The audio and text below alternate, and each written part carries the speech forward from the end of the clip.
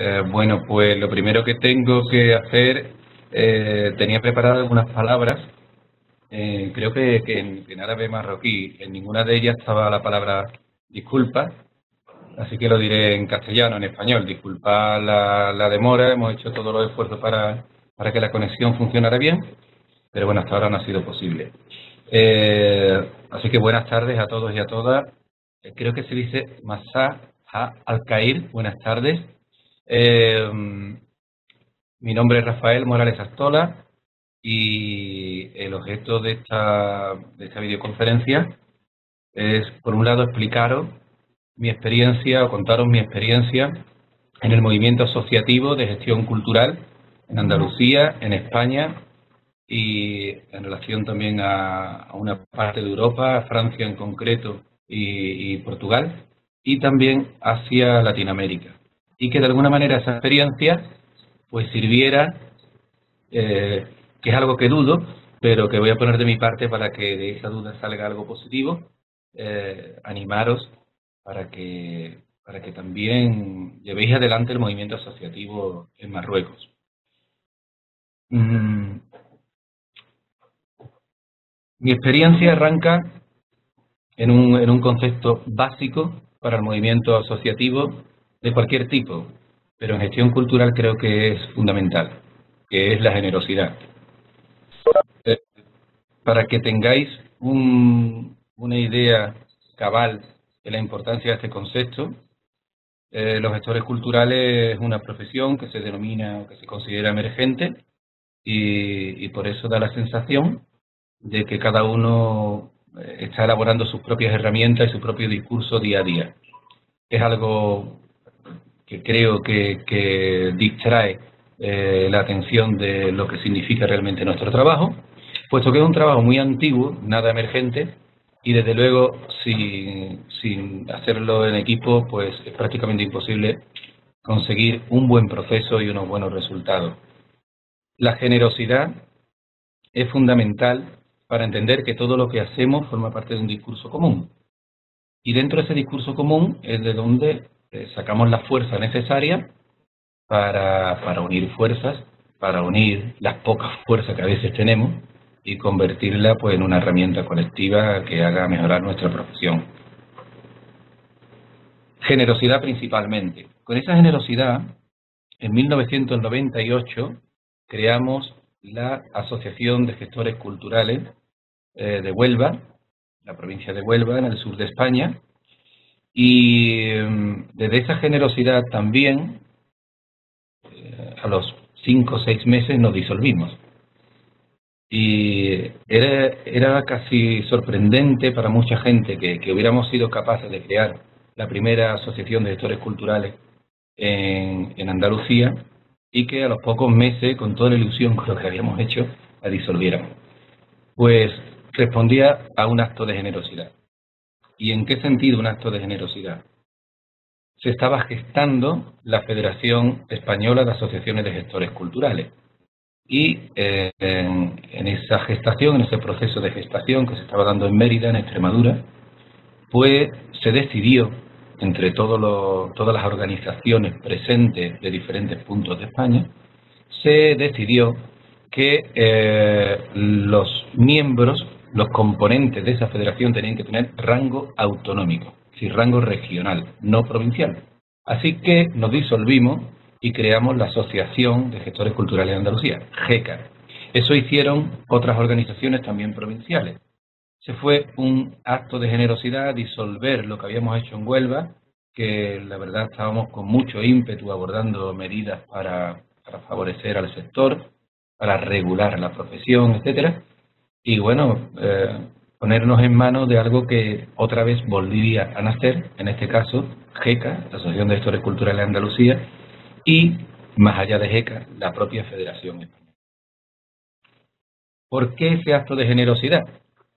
Pues porque los gestores culturales, solos, cada uno en nuestro territorio, ya sea un territorio rural, ya sea un territorio urbano, eh, se encuentra a menudo con que nadie sabe definir en qué consiste su tarea, en qué consisten sus funciones, qué competencias y habilidades debes de tener.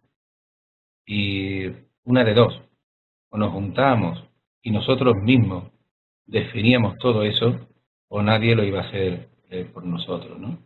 Entonces, bueno, si, si eso conllevaba eh, compartir el tiempo, gastar nuestro tiempo, ampliar el horizonte de discusiones con gestores culturales de, otros lugares, pues bueno, pues merecía la pena, había que intentarlo. Este es el punto, por lo tanto, crucial para un movimiento asociativo en gestión, en gestión cultural. La generosidad hacia el otro, la generosidad hacia eh, la idea del equipo. A partir de aquí, a todos los compañeros y compañeras que estáis escuchando, eh, yo no llamaría esto una conferencia, me gustaría más que fuera una charla. Eh, os pido que quien te parezca oportuno hacer una, una reflexión, una pregunta por el chat, bueno, pues que, que la haga. Eh, es la primera vez que hago una conferencia vía streaming, con lo cual no sé si me manejaré del todo correctamente, pero, pero no hay nada que no se pueda hacer con un poco de voluntad. Estamos en que la Asociación de Gestores Culturales de Huelva se disuelve y crea la Asociación de Gestores Culturales de Andalucía, GECA, para poder sumar fuerzas y crear a su vez la Federación Española de Asociaciones de Gestores Culturales. Bien, pues todo ese proceso que dura aproximadamente dos años, pareciera que podría dar lugar a un gran fruto colectivo, a una dinámica de despliegue, de apertura importante, eh, el tocar nuevos horizontes, ampliar nuestras posibilidades como profesionales, etcétera, pues nada más lejos de eso, sucedió todo lo contrario. Eh, GECA se concentró en, consolidarse como organización y la Federación Española de Gestores Culturales entró en coma profundo. En coma tan profundo que nadie en realidad podría eh, certificar que, esa, que esa mm, eh, organización existiera, siquiera. Y uno dice, ¿por qué pasó eso? Pues pasó eso porque, eh, y lo tengo que decir porque es verdad, desde Andalucía, desde Huelva, trabajamos muchísimo el concepto de generosidad, pero no trabajaron igual otras organizaciones. El resultado fue que al final aquella federación entró en vía muerta durante muchos años. Y así se llevó. Desde prácticamente el 2000 a 2005, como si no existiera. No obstante, el movimiento asociativo en Andalucía seguía contra viento y marea intentando mantenerse. Tuvimos la suerte de tener una magnífica presidenta que fue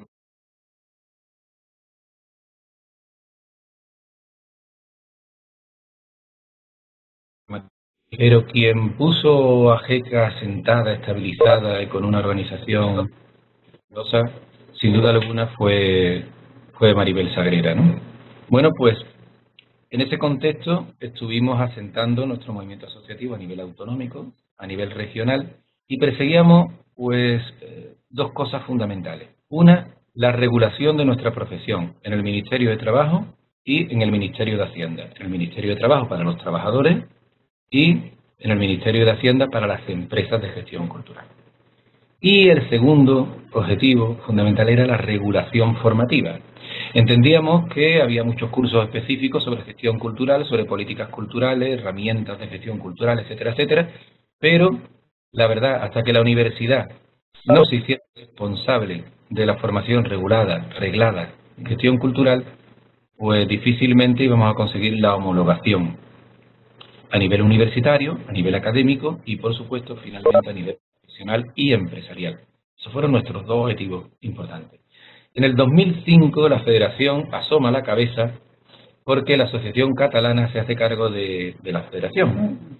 Y, bueno, se actualizaron los estatutos y pareció que íbamos a hacer algo a nivel estatal. Igualmente volvimos a chocarnos contra un muro porque eso es lo que pareciera, pero el resultado fue todo lo contrario. Entramos de nuevo en vía muerta, solo que ahora con un problema añadido.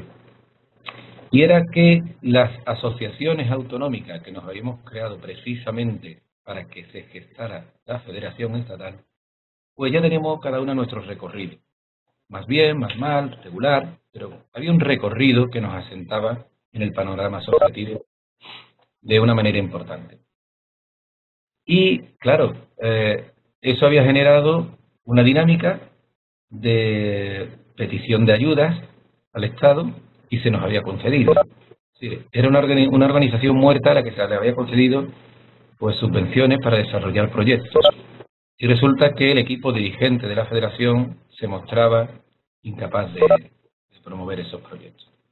En definitiva, que la Asociación de Gestores Culturales de Andalucía, eh, teniendo, eh, viendo la oportunidad de, provocar un cambio importante ante el debilitamiento que, se notaba en la Asociación de Gestores Culturales de Cataluña, que era la que ostentaba la presidencia de la Federación, decidimos dar un paso adelante. Y ese paso adelante fue promover una renovación de junta directiva en la que por unanimidad obtuvimos la presidencia. En ese momento llevaba yo la presidencia de GECA y automáticamente pues cogí la presidencia de la Federación de Asociaciones de Gestores Culturales en España. Y lo primero que nos encontramos era que en tres meses teníamos que llevar a la práctica una serie de subvenciones que nos habían concedido, entre ellas montar la página web y realizar el primer Congreso Internacional de Gestión Cultural en España. Pues lo hicimos, lo hicimos en tres meses. A la semana de coger nosotros la presidencia ya estaba montada la página web.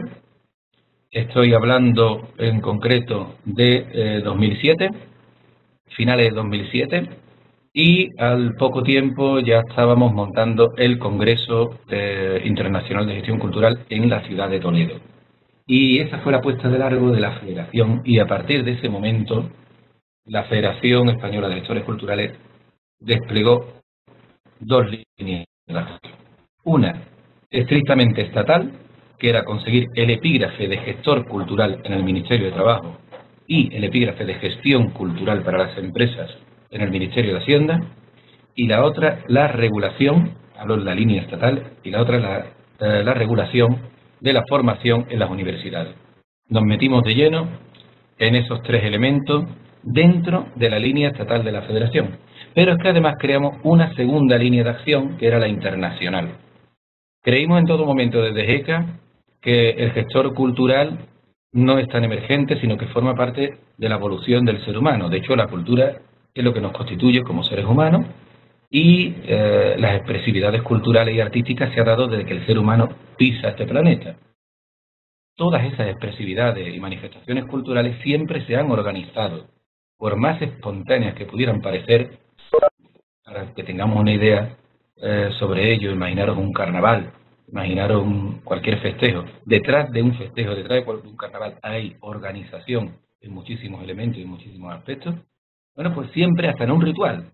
Un ritual que se organice ancestralmente, también hay alguien que organiza, que dice quién va por la leña, quién se pone la piel de la bestia, quién y a qué hora se enciende el fuego, cuándo se hacen las danzas, etcétera, etcétera.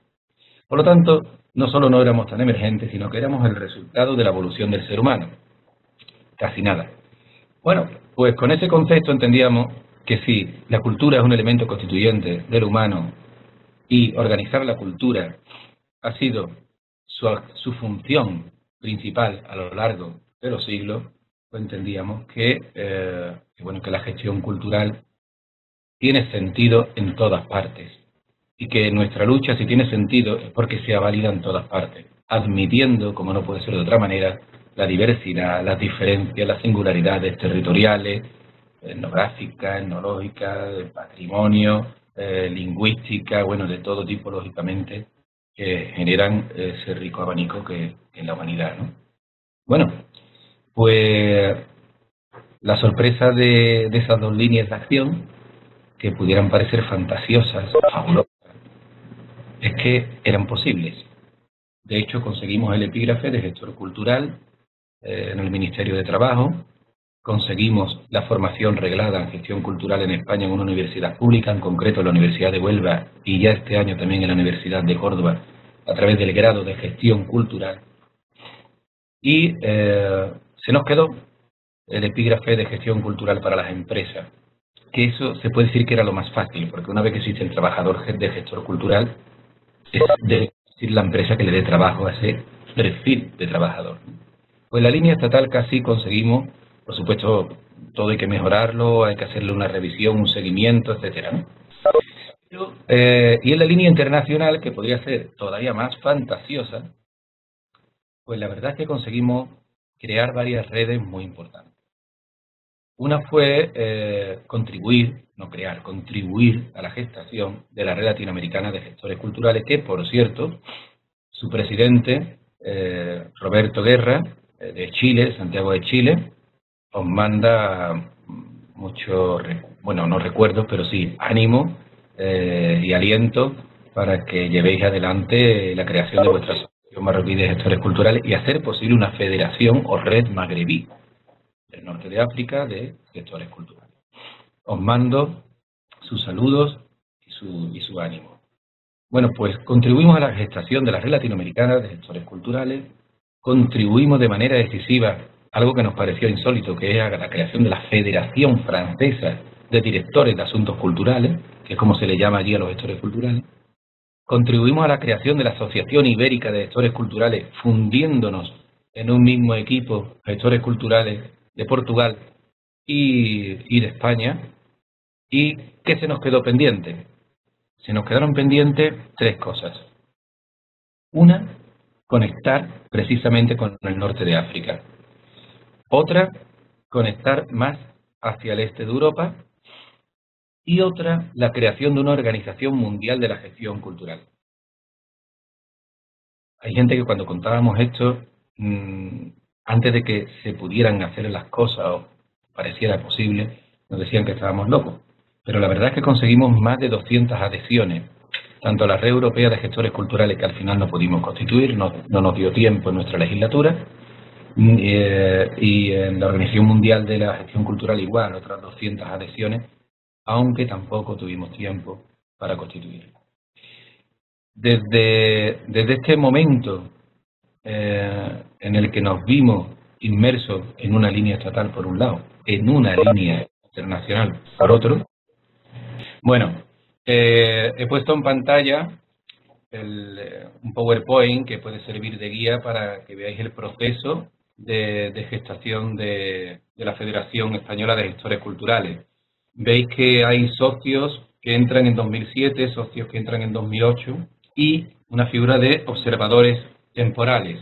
Hubo mucha gente que cuando vio que nuestra federación, entre comillas, era importante, es decir, que hacía cosas, tanto en la línea estatal como en la línea de acción internacional, pues se quiso sumar y entre ellos pues vinieron eh, que es la, Asociación Nacional de Bibliotecarios, Archiverios y Documentalistas de España, mujeres en las artes visuales, incluso gente vinculada a la Asociación de Distribuidores Escénicos, gente muy singular del sector profesional y empresarial de la cultura, incluso la Asociación de Representantes de Técnicos del Espectáculo, que es una asociación muy potente eh, de Madrid.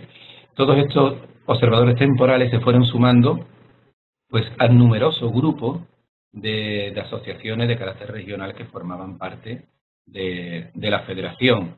Y en este, en este mapa que os voy a mostrar, veis como en 2007, cuando GECA cogió la federación, pues bueno, teníamos una implantación importante a, nivel de Estado.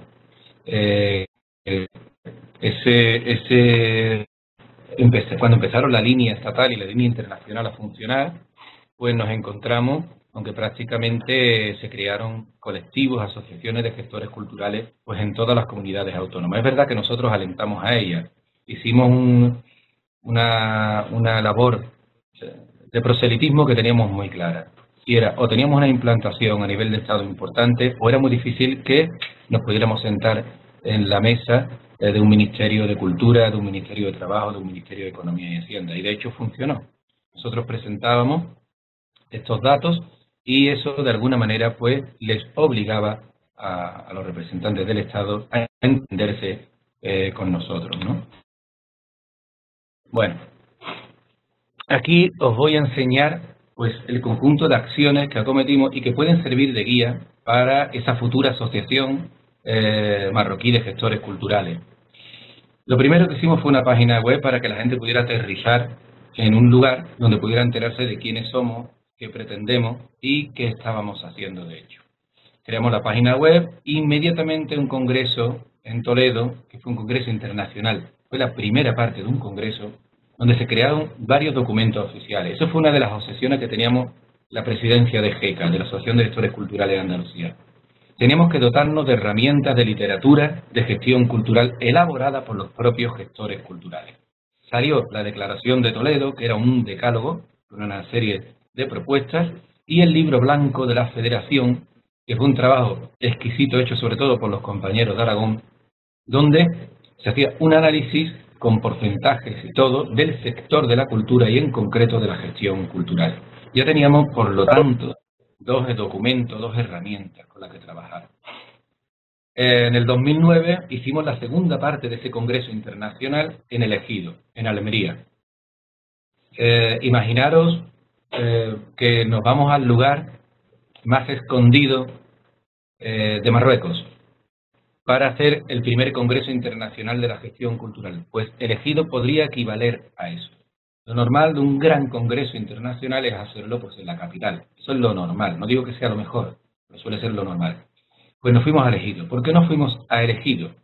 Porque había un auditorio gigantesco para 900 personas y teníamos la certeza de que íbamos a juntar a tantísimas personas. También fuimos a Elegido porque conseguimos un apoyo financiero muy importante de la Diputación Provincial de Almería y bueno, a la Consejería de Cultura de la Junta de Andalucía le pareció correcto apoyar esa iniciativa, aun siendo un lugar muy retirado de los circuitos de congresos, simposios, etcétera, a nivel nacional e internacional. Imaginaros que lo primero que tuvimos que hacer es un PowerPoint de cinco minutos en el que le contáramos a la gente lo fácil que es llegar a elegido. Que no era realmente fácil, pero podría percibirse como fácil, aunque la verdad es que se percibía como muy difícil. Bueno, pues conseguimos que se viera fácil porque prácticamente lo único que nos faltó demostrar es que se podía llegar nadando. La realidad es que conseguimos un gran congreso con participación de todas las comunidades autónomas de España. Conseguimos llenar el aforo del auditorio de, de elegido y eh, también una cosa muy importante que se logró es que reunimos, pues, mm, yo creo que, si no recuerdo mal, más de 90 ponentes, porque queríamos que la voz de la gestión cultural fuera una voz plural, no fuera la voz de cuatro popes, cuatro sacerdotes de la gestión cultural, que normalmente suelen repetir sus textos, sus documentos y sus discursos allá donde vayan, hablen de lo que hablen, sino que queríamos que saliera el discurso de la gestión cultural en España a nivel internacional, a nivel europeo, saliera de abajo, de la gente que está a pie de obra desarrollando la gestión cultural en los diferentes territorios. Pues se consiguió. Al mismo tiempo que se hizo ese congreso en el Ejido, salió el boletín eh, virtual de la Federación y se crearon nuevos documentos oficiales. Es de las cosas que yo más recuerdo de nuestra presidencia fue precisamente nuestra enorme capacidad, como lo demuestran los numerosos textos que hicimos, la, enorme capacidad para crear, generar una literatura, una reflexión rigurosa, escrita, expresada, con claridad en torno a nuestra profesión. Bueno, pues se creó la DPT de la gestión cultural, la DPT significa descripción del puesto de trabajo, todos los documentos que estoy diciendo se pueden descargar de la web de la Federación. Se elaboró el código deontológico de la gestión cultural y eh, el decálogo de la gestión cultural y accesibilidad universal. Este documento, decálogo de la gestión cultural y accesibilidad universal, es de los que más, los que más cariño, además, depositamos, porque queríamos hacer factible, factible el artículo 27 de la Declaración Universal de los Derechos Humanos, que dicen que todas las personas tienen derecho a acceder a los bienes culturales. Y cuando se dice todas las personas, todas las personas, no las personas con capacidad y dejando a un lado las personas con discapacidad. Centramos el discurso de ese encuentro en elaborar un texto que defendiera que todo proyecto cultural intrínsecamente contara con las personas con discapacidad. Se hizo además en una localidad que es en Cortegana, que es en donde estamos. En esa localidad se hizo este encuentro, se creó ese decálogo que tiene una validez universal, no solamente para España, sino para todo proyecto cultural allá donde se realice, donde además en este lugar pues existe uno de los complejos eh, turísticos eh, adaptados a personas con discapacidad únicos. En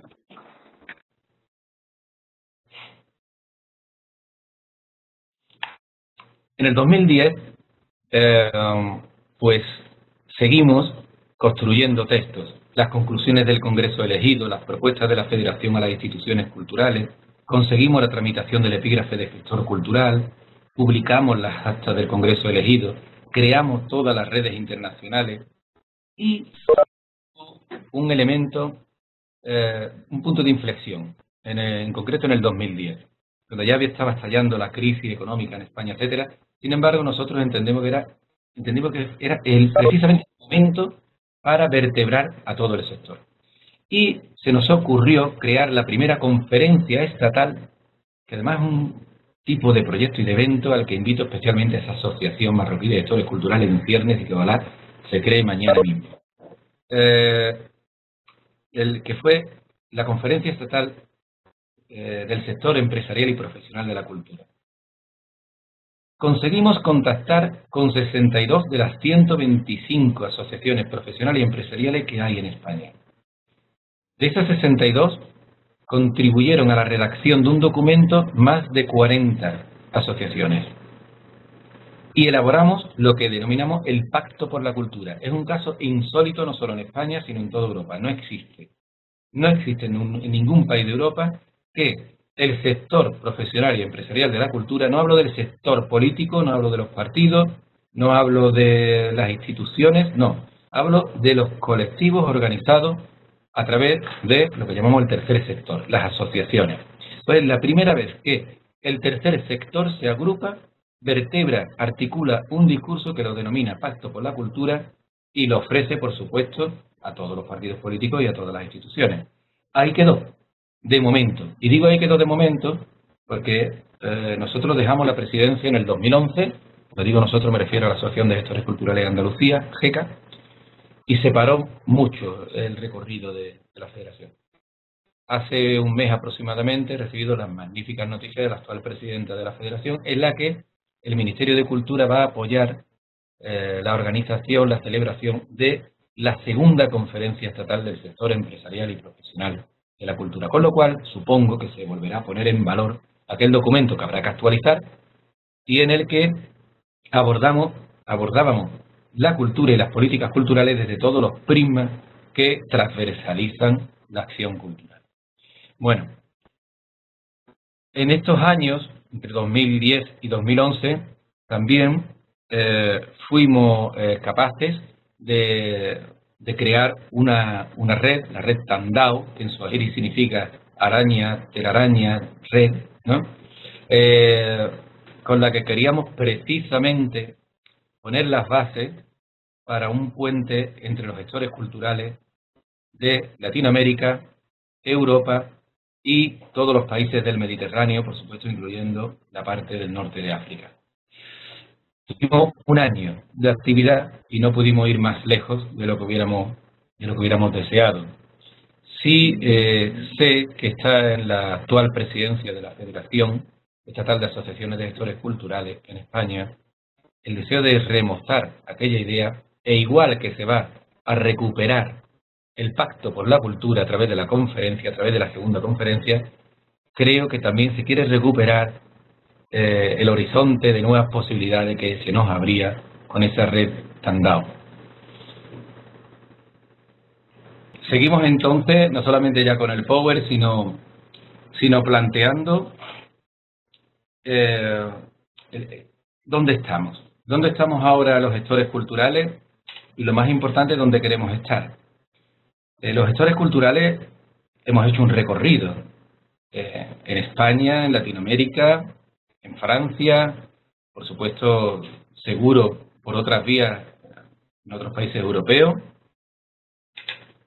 Este momento en el que se está hablando de crisis mundial, de crisis de sistemas, eh, de crisis en todos los aspectos, bien, es un hecho, estamos, pero la realidad es que la cultura no se ha detenido, no se ha interrumpido, ni ha entrado en crisis en sí, en tanto en cuanto, como he dicho anteriormente, la cultura es el elemento que nos constituye como seres humanos.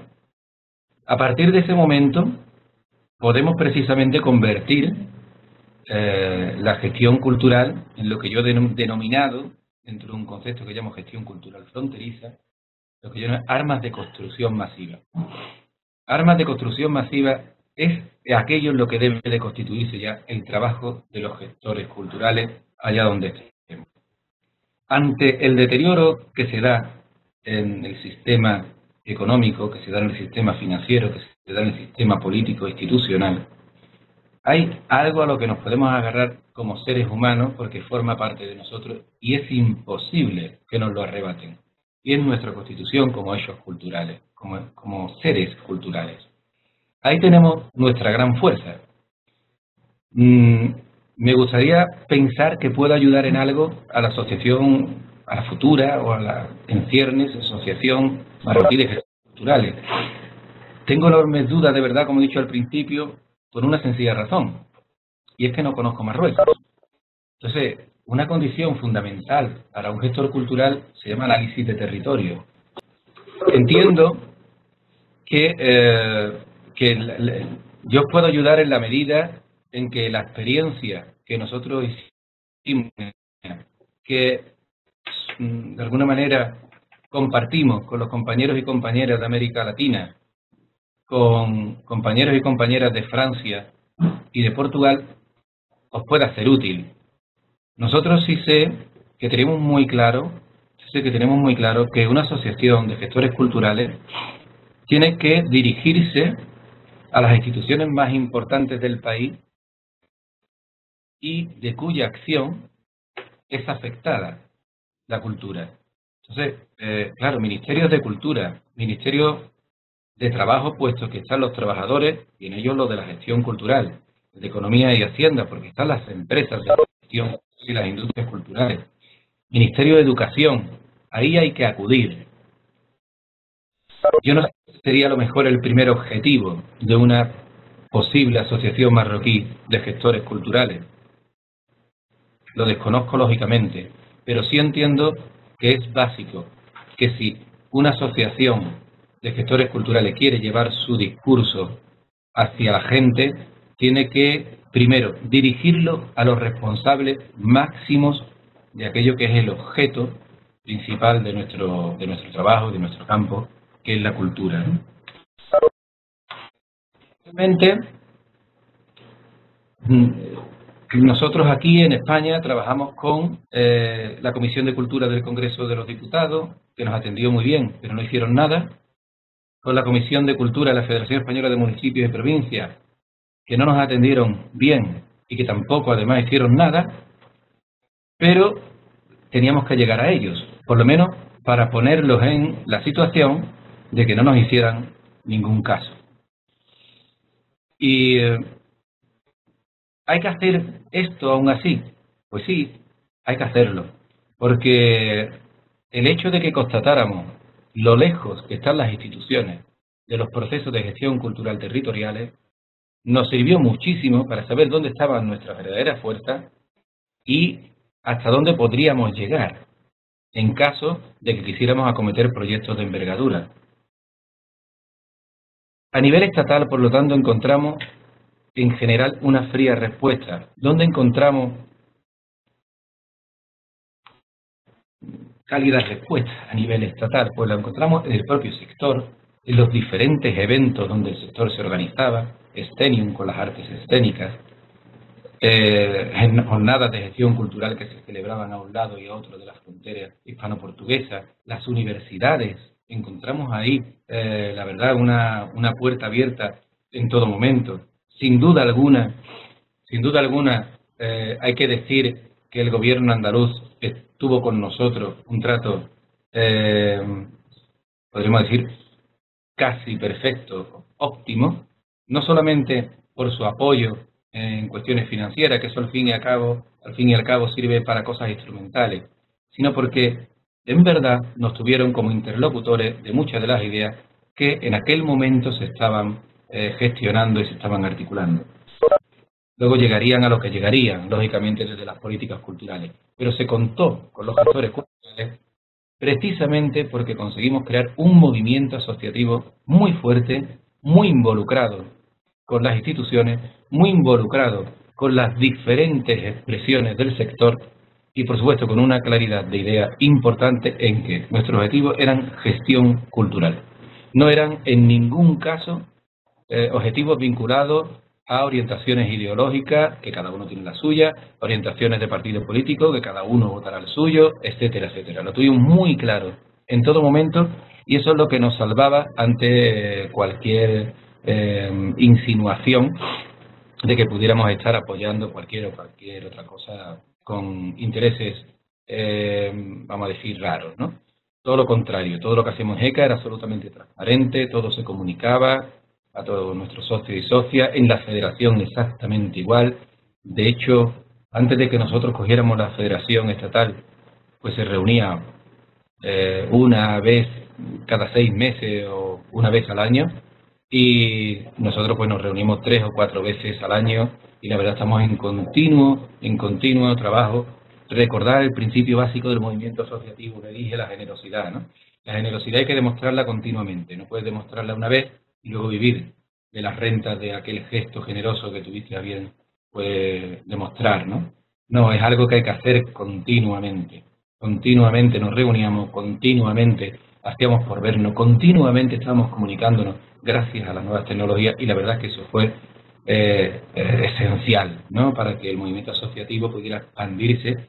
¿Cómo se expandió? Que pasamos de unos 500 socios y socias hablo de la federación, es decir, del nivel español, nivel estatal, unos 500 socios, pues cuando dejamos la federación ya teníamos, eh, éramos casi 3.600, ¿no? O sea que fue un salto cualitativo realmente.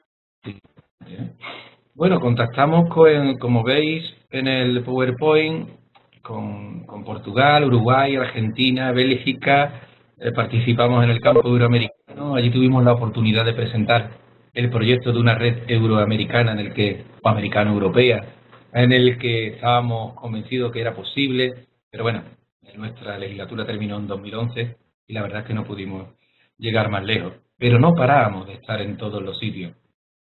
Creo que ese es el segundo, el segundo,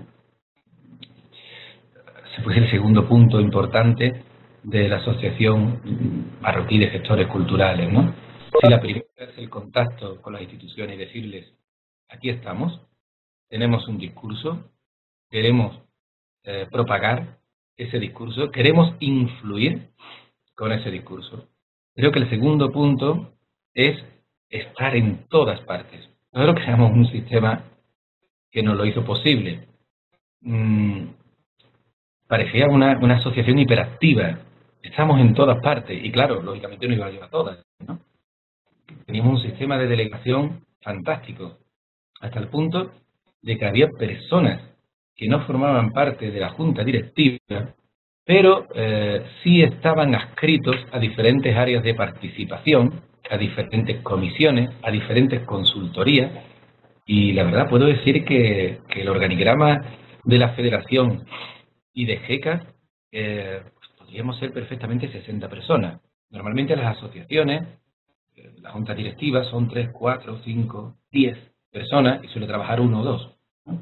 Yo tengo que decir que, por supuesto, para nada es mérito mío, era mérito de un sentido de equipo que teníamos eh, en, nuestra propia asociación y en la federación, que la verdad es que trabajaba todo el mundo.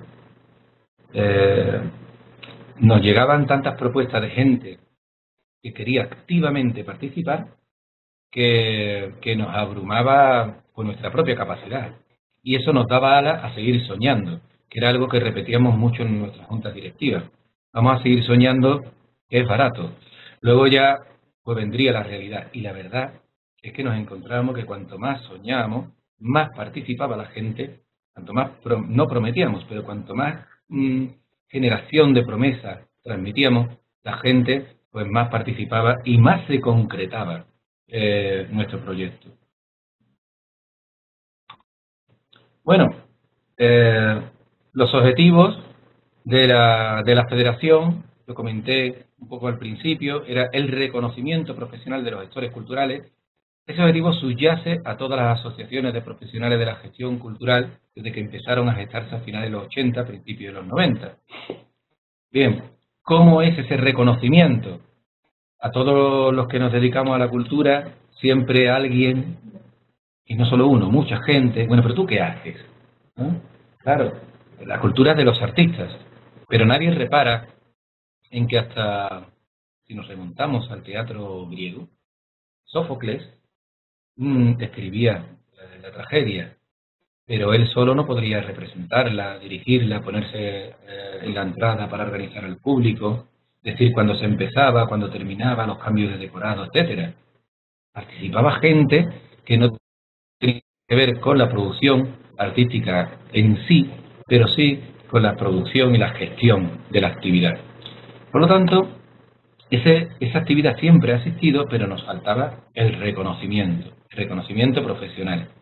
Pretendíamos que la sociedad nos reconociera, pero los primeros que tenemos que reconocernos como profesionales somos nosotros mismos. Bueno, pues eso hay que vencerlo. No sé cómo estaréis allí en el Reino de Marruecos en ese aspecto, pero tuvimos que convencer a muchos compañeros y compañeras de que eran gestores culturales, de que no eran artistas gente que había venido del teatro, de las artes plásticas, de la literatura, se dedicaban a gestionar proyectos culturales, pero no querían sacudirse la condición de artista, de creador. Esa fue una de las principales batallas, cómo nosotros mismos debemos de vernos como profesionales. Luego vendría la segunda batalla, que es que la sociedad te reconozca como un profesional que precisa de unas técnicas, de unas habilidades, de unas competencias, de unos conocimientos, etc. Ese objetivo es fundamental para cualquier asociación. Objetivo fundamental, reconocimiento profesional. Objetivo fundamental, cubrir las necesidades formativas específicas, específicas de los gestores culturales, vinculadas sobre todo a, eh, a la universidad. Ahí concluiría los dos objetivos trascendentales de un movimiento asociativo en gestión cultural. Y hay un aspecto que eh, no quisiera eh, terminar esta charla sin, sin, apuntar. ¿no? Hemos pasado en los últimos 20 años de querer identificar al gestor cultural y acotar su campo de acción profesional, hemos pasado de eso a la transversalización de nuestro oficio. Hoy día un gestor cultural no puede centrarse únicamente en voy a gestionar una sala de teatro, voy a gestionar o comisariar exposiciones de arte plástica, etcétera, voy a gestionar industrias culturales cinematográficas, voy a eh, manejarme en el patrimonio. No, hoy día un gestor cultural, ya lo he apuntado antes de alguna manera, tiene que desenvolverse en el ámbito de lo que he llamado gestión cultural fronteriza una gestión cultural transversal, donde nuestras competencias, nuestras habilidades, nuestros conocimientos se han ampliado de tal manera en la que se puede decir que una persona sola no puede hacer las cosas. Es intrínseco ya a nuestro trabajo la acción en equipo. Y más que la acción en equipo, reconocerle a las personas su condición de gestores culturales. Ana Milena Escobar es una pensadora de las políticas culturales magnífica que habla de que el patrimonio no solo son las piedras, ni siquiera la arquitectura popular, ni siquiera lo célebre de una cultura er, determinada, indígena, etc. El patrimonio es también cada persona como portadora de la cultura de la que se ha ido nutriendo desde que nace hasta que se muere. Desde ese punto de vista, si una persona es patrimonio cultural solamente por el hecho de existir como ser humano y como ser cultural, igualmente tenemos que empezar a reconocerle un espacio dentro de nuestra gestión a todas las personas, sobre todo a todas las personas que quieran lógicamente compartir nuestros procesos y proyectos, ¿no? Pero ya tenemos que empezar a ver que si bien existe la profesión del gestor cultural, siempre ha existido la condición de gestor cultural en todo ser humano, como existe la condición de portador del patrimonio. la primera pregunta era si una asociación, si bueno, si es, quizás si la vía más idónea para un proyecto cultural es una asociación. Pues dependiendo del proyecto, dependiendo de la fuerza que tenga esa asociación, me da mucho coraje decir la, palabra depende, porque es como no, no querer responder. Pero la verdad es que lo importante primero, el proyecto cultural, si es bueno, mm, da igual que lo haga el sector público, que lo haga el sector privado, que lo haga una asociación o llamada tercer sector. Es más, yo abogo por la gestión mixta. Durante mucho tiempo ha sido el Estado quien se ha encargado de la organización y tutelaje de los proyectos culturales. Poco a poco, con la irrupción de las llamadas industrias culturales finales de los 90, ha entrado con fuerza el sector privado. También nos hemos organizado a través de ONG y asociaciones, la gente que tenemos intereses comunes en relación a proyectos culturales. ¿Cuál es la fórmula idónea? La fórmula idónea, según mi criterio, es la fórmula mixta. Es decir, el Estado creo que debe de estar en los proyectos culturales, puesto que además le obliga las constituciones, ¿no? las constituciones del Estado, lógicamente. Creo que además le obliga la Declaración Universal de los Derechos Humanos.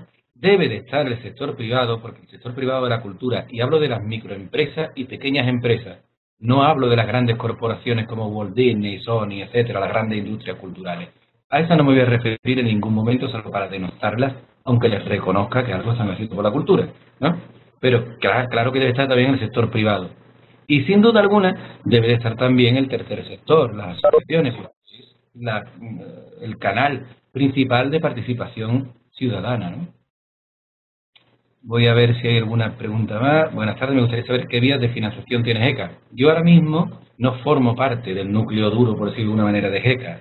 Me encargo solamente del área de, de GECA para, para, la universidad, precisamente por mi vínculo con la Universidad de Huelva, ¿no? donde se ha creado, como dije antes, el primer grado de gestión cultural en una universidad pública en España. Fuentes de financiación que tenía GECA cuando yo estaba, estaba la Consejería de Cultura, estaban los diferentes municipios donde celebrábamos foros, estaba incluso a veces entidades financieras, recuerdo que Caixa Cataluña, por ejemplo, estuvo Cajasol, eh, también estuvo Caja San Fernando, ya todas estas están desaparecidas, ¿no? Pero bueno, en aquel entonces estaban, ¿no? Y por supuesto, sin duda alguna, las cuotas de los socios y de las socias. Voy a dar un dato fundamental para esa posible Asociación Marroquí de Gestores Culturales, un antes y un después de GECA. Fue cuando profesionalizamos al administrativo de GECA. Hasta 2008, eh, GECA lo llamamos voluntariamente los cargos elegidos por la Asamblea, que por supuesto no son remunerados. Pero claro, lo hacemos con nuestro tiempo libre. Necesitamos una figura profesionalizada que administrara los asuntos internos y externos de GECA. Ese fue el primer paso de los primeros que vimos o que di yo cuando cogí la presidencia de GECA. El resultado fue, pues teníamos 122 socios y llegamos casi 500. Teníamos un presupuesto de 3.000 euros y llegamos algunos años a tener un presupuesto de casi 200.000 y coincidió con el Congreso elegido, es una verdadera burrada. Actualmente las vías de financiación son menores, puesto que en nuestro país, España, está en una crisis importante a nivel económico, a nivel financiero, pero bueno, ahí están las cuotas de los socios y socias salvando la situación y de vez en cuando, pues, alguna institución que, que tiene a bien colaborar con GECA en algún evento concreto y así la financia, ¿no? Voy a seguir viendo. Bueno, creo que ya he opinado sobre la asociación versus empresa. Creo que, no hay que... Em, es como un médico. Un médico es bueno o malo, trabaja en un hospital público y en un hospital privado. Yo deseo que todos los hospitales sean públicos porque es la mejor atención y la mayor atención que se le puede dar a toda la ciudadanía. Pero hablando del médico, del profesional, allá donde esté, si es buen médico lo es. Pues lo mismo, un proyecto cultural en manos de una buena empresa sale igual de bien que en manos de una buena asociación y viceversa. Si van juntas, sin ningún problema. Yo no lo veo, desde luego. Ah, Pues, ¿qué universidad recomendaría? Mm, pues, lógicamente, tengo que ser coherente. Yo recomendaría que la gente que esté interesada en tener el grado de gestión cultural en una universidad pública, pues tiene que ir a dos universidades cada. Bien, eh, me preguntan eh, sobre eh, el funcionamiento, la dinámica de la red latinoamericana de gestión cultural. Bueno, es que eso requeriría no, no una conferencia en streaming, sino sería un curso completo. Sí te diré que los latinoamericanos tienen una singularidad, lógicamente, frente al discurso de gestión cultural en Europa. Una fundamentalmente es el valor enorme, intensísimo que le dan a la cultura viva comunitaria, como la llaman ellos, y a los gestores culturales comunitarios. Es decir, esas personas que del ámbito de las asociaciones, del ámbito profesional, incluso de las pequeñas industrias culturales, pues trabajan con comunidades. Comunidades que no tienen por qué ser indígenas, pueden ser en barrios, en zonas rurales, etcétera. Entonces, eh, se puede decir que viene marcada, la red latinoamericana de gestión cultural viene marcada por ese sesgo, por supuesto sin excluir la gestión cultural más clásica basada en la democratización de la cultura, es decir, el acceso de todas las personas a las artes y la democracia cultural, el acceso de todas las personas a, espacios de creatividad y de formación. ¿no? La dinámica que, con la que surgió la red latinoamericana pues se debe a generosidad. Insisto en esa palabra porque es que es fundamental. Sin generosidad no va a llegar ningún movimiento asociativo a ningún lado. Además, no se va a gestar jamás un movimiento asociativo. Nos encontramos gente de Uruguay, de México, eh, Chile, España, eh, de Portugal, de Nicaragua, eh, de Brasil, de Argentina, de varios sitios en Uruguay. Seminario. Bueno, pues en ese seminario dentro de un autobús, muy ilusionado, casi en un tono de fiesta, no habíamos bebido nada, nada con alcohol, ¿sabes? Se nos ocurrió precisamente que era necesario que se construyera un discurso latinoamericano colectivo. Y pues esa dinámica de generosidad y de afecto, eh, como decía un amigo colombiano que también formaba parte de, aquella tribu que estábamos dentro del autobús, pues surgió la dinámica de la red latinoamericana de gestión cultural. Esto habría que hablarlo largo y tendido, sobre todo si te interesa bien, a mí no me importa que os den mi correo electrónico o por el Facebook y nos extendemos en todo lo que, lo que haga falta. Pero sí es una dinámica clave, cultura viva comunitaria, el trabajo con las comunidades y, por supuesto, una vez más, la generosidad como, como fuerza principal. ¿no? Ahora veo aquí preguntas sobre la situación en la que se encuentra la federación y sus objetivos. Bueno, lo he comentado antes, la federación está intentando recuperarse eh, porque entró en coma, después de que dejáramos nosotros, me, suena mal decirlo, pero es que es la verdad, dejamos en 2011 la federación, la presidencia, y otra vez se vino abajo, bueno, han pasado tres presidentes en los últimos dos años con la federación, que eso ya de alguna manera caracteriza el proceso que se ha estado viviendo, ¿no? Pero lo ha cogido Ana Velasco, que era entonces la secretaria general de la federación cuando llegamos nosotros a la presidencia, y la verdad es que le está dando un vuelco en el buen sentido, ha recuperado la segunda conferencia estatal eh, de la cultura y ha, eh, renovado la, web, en fin, eh, está renovando una serie de, de cosas en, el, en, la federación y yo creo que está otra vez cogiendo, cogiendo impulso. Y por supuesto yo me he puesto a disposición como un socio más con ellos. ¿no? veo aquí ahora, un segundo. Verá, se me va eso. Ah, ¿Cuánto costamos? ¿Cómo nos presupuestamos? ¿Cuánto podemos cobrar, por ejemplo, por la elaboración de un proyecto? Bueno, a empezar, tendría que saber tu condición como profesional. Si deduzco que, eh, que trabajas o quieres trabajar profesionalmente en una empresa. Pues depende del presupuesto del propio, del propio proyecto, ¿no? O sea, si es un proyecto pequeño, eh, lógicamente tiene un coste. Si tiene un... Un poco sé, eres Alicia Rueda, ¿no? Bien. Eh, creo que deberíamos hablar en otro contexto, ¿no? Quiero decirte, porque te tendría que poner delante pues todas las posibilidades. Hay proyectos que si atienden a toda una provincia, pues lógicamente tiene un, coste de elaboración que no tiene un proyecto que atienda a un espacio rural pequeño, ¿no? Igualmente, no tiene el mismo coste un proyecto complejo, transversalizado por diferentes manifestaciones artísticas y culturales, a un proyecto que a lo mejor es un mero festival de teatro. ¿Sabes? depende de la complejidad del proyecto. ¿eh? Vamos a ver, es que me he dejado uno atrás. Soy Mimón. Como músico me gustaría crear una empresa de representantes de grupos musicales. Me tendría que escribir una asociación de gestión cultural. Bueno, si eres una empresa, eres una empresa, no eres una asociación. Hay algunas asociaciones que se dan de alta en el IAE, en el Impuesto a Económicas, y facturan como, como empresa. Pero yo creo que, que en tu caso, como músico que eres, supongo que quieres venderte a ti mismo y vender otros productos de otros compañeros que también hagan música como tú, ¿no? Eh, no sé, no sé qué es lo mejor. Eh, decirle a un músico que deje de hacer música para que se dedique a la gestión cultural es como si perdiéramos un poco aquello que nos da sentido a los gestores culturales. Necesitamos que los músicos hagáis música. Ahora bien, también entiendo que, hay veces en los que el músico, pues, pues quizás desgraciadamente tiene tiempo también para gestionar, o a lo mejor tiene inquietud y curiosidad. Bueno, si ese es el caso, sin duda alguna, yo siempre aconsejo que si tienes capital, capital financiero sostenible, pues entonces te metas en una empresa. Pero si no lo tienes, las asociaciones culturales desempeñan un papel muy importante y que se ha desvirtuado en nuestro país porque, porque hemos valorado tanto lo profesional y empresarial, entre comillas, a costa de empobrecer o debilitar el concepto de la participación ciudadana, algo que no ha pasado en Latinoamérica y como consecuencia tienen un, un tejido asociativo y comunitario que es envidiable, ¿no? Al lado del nuestro, al lado de cualquier entorno europeo, ¿no? Pero bueno, creo que hay que intentar casar las dos cosas.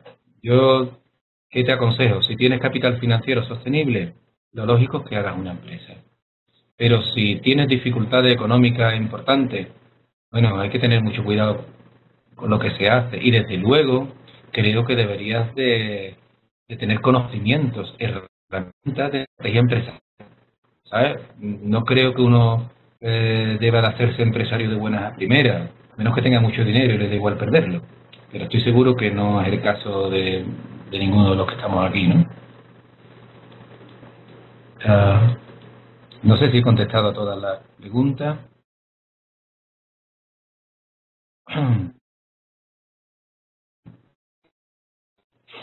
Estoy revisando. He visto aquí una parte de la Junta Directiva de la Asociación Estatal de Salas de Concierto, que a su vez constituye parte de la europea y nuestro mayor problema es el sostenimiento. Bueno, el problema del sostenimiento no es solamente vuestro, de la Asociación Estatal de Salas de Concierto, seguramente afecta a todos los colectivos profesionales y empresariales de la cultura en España y seguramente también en Grecia, seguramente también en Irlanda, Portugal, Italia, en fin, todos los países que estamos sufriendo la debacle, las terribles o terroríficas políticas que se están poniendo en marcha en nuestros respectivos países. ¿no? Pero bueno, el sostenimiento de, de vuestra asociación debe de depender fundamentalmente, al menos ese era nuestro criterio en GECA y en la Federación, de los socios y las socias. O sea, mm, habrá años en los que se tengan muy bollantes, años en los que se tenga que, tenga que haber restricciones, pero lo que sí está claro que una asociación no puede permitirse lo que sí se puede permitir un organismo público, ¿no?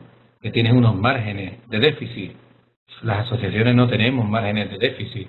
Eh, sabemos que como creemos un déficit en nuestras asociaciones, la hundimos, ¿no? La hundimos para los restos, ¿no? Aparte de que eh, ya su reputación es prácticamente irrecuperable, ¿no? Sería irrecuperable. Entonces, bueno, eh, si tenéis un problema de sostenimiento, probablemente haya que hacer un estudio interno de la propia asociación. ¿Quiénes son los socios? Si de verdad están interesados en que esa asociación eh, articule un discurso y, y sea activa en los foros donde tiene que participar y si de verdad les interesa para que defienda sus intereses y también ayude a evolucionar en positivo eh, el, mundo del el ámbito de las salas de concierto, ¿no? Que sé, lo sé lógicamente, de está pasando pues, por una época eh, terrible, ¿no? Las, salas de concierto, ¿no? A veces por falta de economía, a veces son por legislaciones municipales, mucho, muchas razones, ¿no? Pero bueno, yo te animo a que haga un estudio interno de el principio de realidad que es muy importante en el ámbito de la gestión cultural. El sueño siempre se alza sobre un terreno firme. Eso es importante, ¿no? Hay que soñar, tenemos que soñar, pero desde un terreno firme. Antes de pasar a preguntas y cosas, eh, por supuesto, darle las gracias al equipo técnico que me ha permitido, eh, a duras penas, eh, resolver esta charla y esta conferencia y, por supuesto, a las personas que están liderando este proyecto, especialmente mi amiga, compañera, admirada, Virginia Luque, y a todas las instituciones que apoyan el proyecto. Y bueno,